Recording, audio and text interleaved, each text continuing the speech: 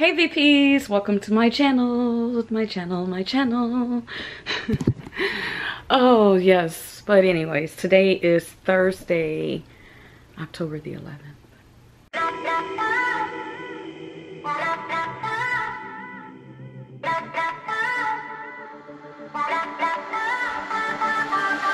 I know the time does not stand still. Can see the world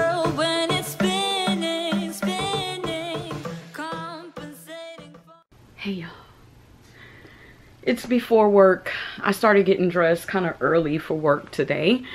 And um yeah, so I'm just kind of sitting here now. I just tend finished tending to my wound. the burn. Uh yeah, I put some more aloe vera on it. And uh, it looks like it's trying to grow a new scab. I don't know. There's Kingston. Say hi to the people. Say hi to the VPs. Say hi, VPs. Hi, people. Say, my name is Kingston Langston Templeton. Yeah. He's been a big old baby. He's always a baby, y'all. He like, I'll be standing up, like doing my hair or something like that, and he'll start standing up on me because he wants me to pick him up. So, and ever since this mirror has been down on the floor, he like has been tripping out. He'll just sit there and look at himself and then he'll start barking and growling. And then if he sees me in the mirror too, sometimes he'll bark and growl at me through the mirror. a mess. That's you. Yeah. So anyways, y'all, I'm so ready to get out of this apartment. I got stuff everywhere. I mean everywhere and I cannot stand clutter. I cannot stand it. So wish me luck. I got some clothes in the washing machine right now. It sounds like they're ready to go into the dryer. But anyways, before I finish getting ready for work, I just wanted to step in and start today's vlog and say, hey, what's up? Hey y'all, I'm home from work. Y'all, I don't even know if I'm actually, honestly, if I'm gonna have enough material to even post Vlogtober day, I think it's 12? Yeah. Because there's nothing going on and I've been at work all day.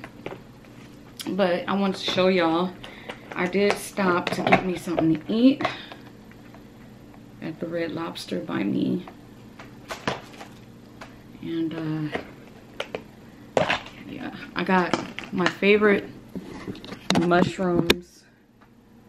They're the appetizer. And I got these mussels. First time I'll be trying them. And it comes with some bread right there. And then of course I got the regular Red Lobster bread. So look at all this stuff. Yeah. So I'm just gonna go ahead and eat and I'll talk All to y'all y'all. later. Here I am. I'm back. I'm back. I'm back in the cut. No. Um. Ooh, sorry, Kingston. Um. Oh, little boy. Yeah, I was sitting here and y'all, I know I don't have that many clips. I don't have really nothing. no vlog for today, but I pulled it out from here, you know, a little from time to time or what have you. But anyways, I was laying here and I was thinking of the fact that today was National um, Coming Out Day, the Day of the Girl is what it's called. And so it really made me think, and it's crazy because one of the first things that it made me think was about Damo, Damo Wilson, some of her music, you know, about coming out and stuff like that. And if there's any of you out there that's like looking at my vlogs and you're like, you know, on the inside, you know that you're a lesbian or you're gay or you're bi or whatever it is that you are and you're hiding it or in, putting it deep inside of you like that's what this day is about. Is about you. You know um be proud of who you are. You know as you as i got older i just wanted to be me. I just wanted to do i wanted to start living my life for me and making me happy because i was a mother at a very Okay, young y'all, back. age. What was i saying? Um you know i was a mother at a very young age and so i lived my life for my children. You know um like when I thought about where I was gonna move or what what was, you know, better for me financially, you know, um, for me to move to, but it would take them out of their school or have them in a school that's completely different than what they're used to being around or you know the environment that they're used to or whatever. And like it was just hard in that way. Everything was for them. Everything was wrapped around them. They were my world you know? My world did revolve around my kids. And um so now that I you know as I've gotten older and now that I am older I just want to just be myself you know, people, your loved ones will love you regardless. If they if they really are your loved ones, they'll love you regardless. You know, some people just need more time or whatever, you know, to get over it and that's completely understandable or to just kind of get past it.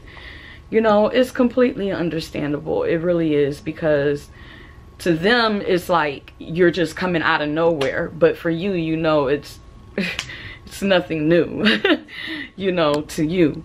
But um i'm just you know having this conversation with y'all in the thought of the fact that today is national coming out day. So if you are ready to come out girl just do it. Just do it do it do it do it for you. Do it for you you know? But anyways I just want to say that I'm liking having these little talks with y'all. Y'all are helping me get through like what I'm going through all the stuff that I'm going through right now just being able to talk to y'all about it. And this is how I'm gonna how my process of like just trying to turn everything positive and try to have some positive thoughts about things. And it, talking to y'all about it really helps me with that. But anyways y'all i'm gonna go ahead. I bet i got enough material now. I'm gonna talk y'all's head off. But anyways y'all so this should be our last night here kingston. I know last night was supposed to be but really tonight i'm gonna have to show you our new place baby. Our new place. And then then you need a bath after we get moved in and settled in. Yeah, you need a bath, oh boy. Mwah. I love you too.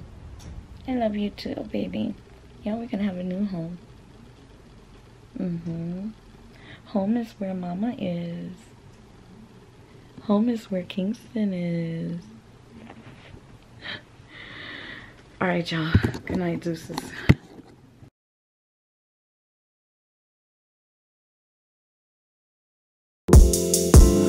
Flower bomb. Let me guess your favorite fragrance, and you got that bomb. I'm trying that in nature. No disrespecting, baby. Just try and make you smile. Try to keep my spirits up.